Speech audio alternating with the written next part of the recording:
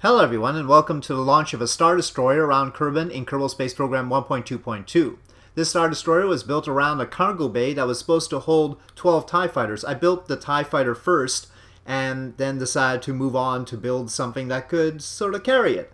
Um, this Star Destroyer was built around that cargo bay, a Mark III cargo bay, and then I sort of piled on procedural wings, B9 procedural wings, and then a whole lot of Lackluster Labs parts. The engines are three Rhinos, which were scaled up because Rhinos are too small in this case, and there are also ion engines from Lackluster Labs on the tail there.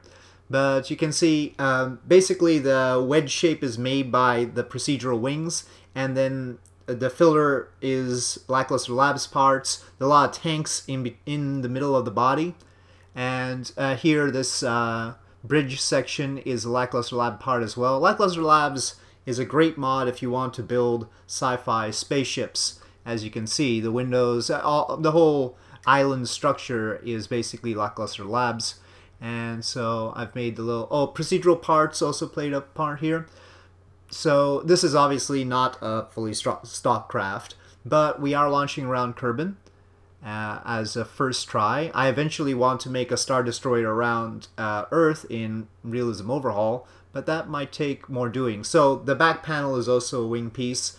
I basically crossed my fingers that the aerodynamics would work out and not cause havoc. This is the TIE Fighter, and I built it around a dirt pod from the colonization mods, the USI colonization mods. And basically it's got procedural tank that's surrounding the dirt pod, and of course the docking port on top. And then the rest of it's just B9 procedural wings, and then the ion engines on the tail. TIE as people have constantly reminded me, stands for twin ion engine. So we had to have two ion engines. And actually it gets pretty good thrust given that. That's because the cockpit and overall structure is very light. The next step was to test the structural integrity of the Star Destroyer, so that's what I'm doing here, just making sure it's sort of stable with auto strutting and everything, of course. And you hear the music, that's from OC Remix at ocremix.org ignition test just to make sure that things don't fall apart because of the thrust from the engines and probably at instigation from viewers because of course this was during a live stream that I did all this. I, uh, I eventually decided to release the clamps and uh, this Star Destroyer does not have a thrust weight ratio of 1 so of course it went down. And a very spectacular explosion, I think. Well, now we know what happens if a Star Destroyer, well, sort of does that. We really need anti-grav units, but those have proven a little bit tricky from Kerbal Foundries. There is a mod for anti-grav units, of course. So the question is how to launch it. I the initial idea was to put boosters on the side, but I had already uh, done these launchers because uh, somebody who had watched my Realism Overhaul series liked the Nico 2544 and wanted to see a sort of stock version of the Nico 2544 using the stock engines. Now, of course, uh, it's still procedural parts, but stock engines in it. And so I had built that already in a previous stream and decided to try and put two of them in order to launch this. Uh, technically within the capabilities of the launchers. That's 50 vector engines at the bottom. So quite a lot of thrust, quite a lot of lag because of the 50 engines. And you can see how much effort they're putting into this. Slowly pushing it up. Of course, the Star Destroyer itself has some fuel, but it doesn't have the thrust to weight ratio to lift itself up, and also not a whole lot of delta V. It is very heavy, and this is now about to flip, of course. Remember the aerodynamics? well, I mean, it's not the best way to lift up anyway. And we see serious disassembly happening.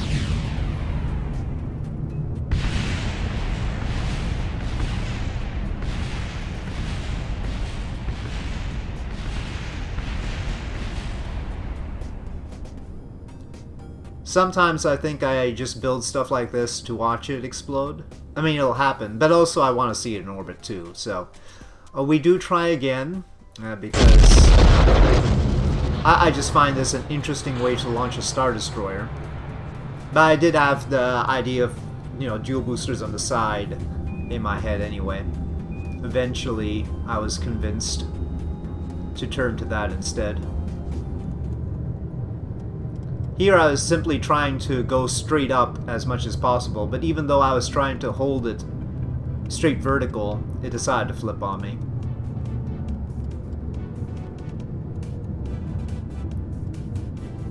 And... This one took a while to explode.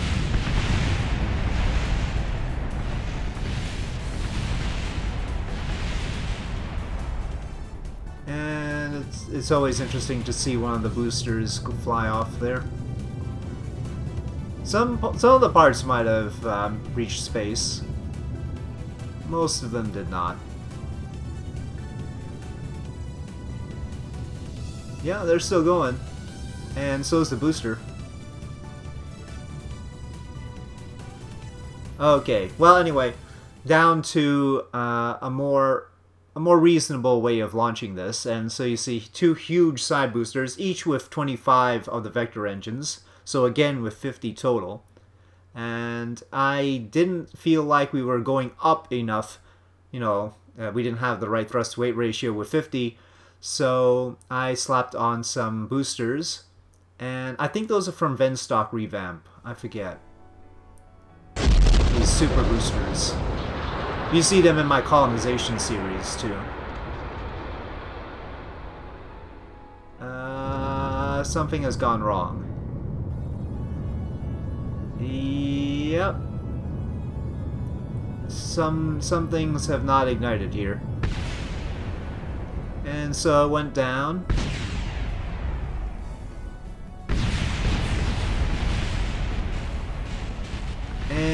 The camera's having a lot of fun trying to pick what to actually focus on because by the time it focuses on something, that thing explodes.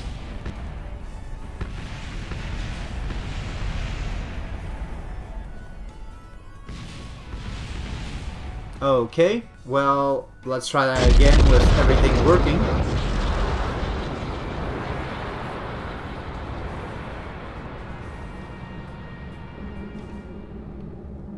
Okay, it's going up now.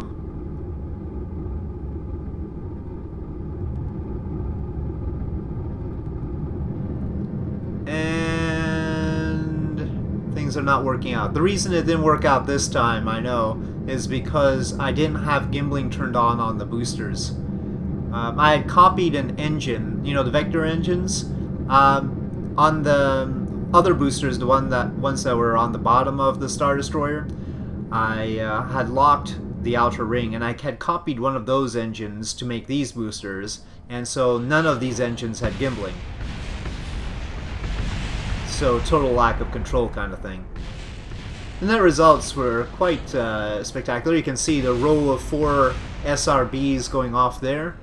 Uh, I tried to separate the huge boosters and it turns out they do separate cleanly so we do have a booster separation test that worked.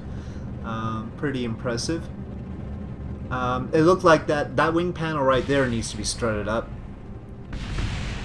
And again, of course, the Star Destroyer doesn't have the thrust-weight ratio to save itself. So... It tends to disassemble quite decisively. Doesn't leave too many parts behind. The booster, on the other hand, you'll note, uh, did leave a little cluster of engines at the bottom on the ground there. So we have a little vector engine garden. Well, we can recover those at least. Okay, so now with added gimbal.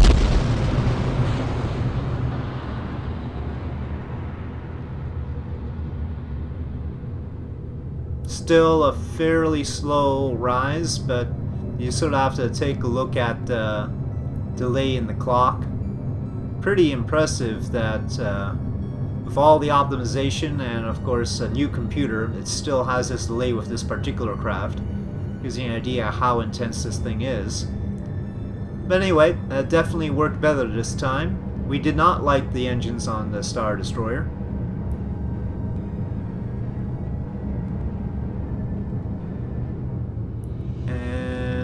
Here we go. Basically getting to the target apoapsis and then separating the boosters. I forget what those little SRBs are called, but we are using SRBs as separatrons here. And you can see that's probably a good idea. They don't exactly separate very quickly.